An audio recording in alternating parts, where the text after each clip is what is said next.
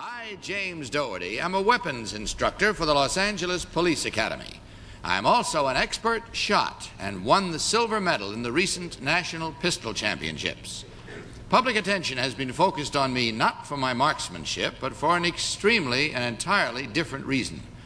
For four years, I was married to a girl named Norma Jeane Baker.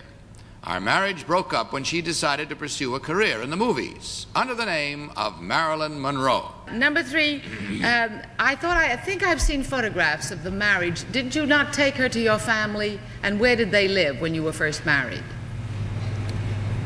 Uh, no, I didn't take her to my family. Were you, were you not married in your family's house?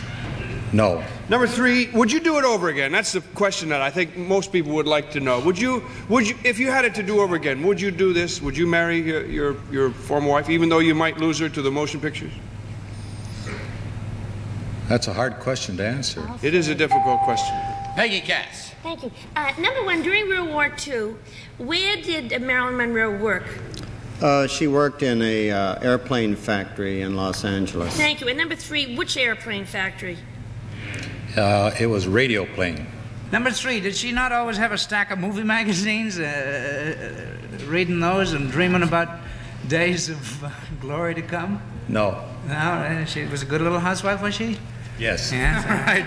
Uh, oh, more time. Oh, That's all. That's all. Our studio audience voted for number. He doesn't know what. Number one. Will the real James Dougherty please Stand up.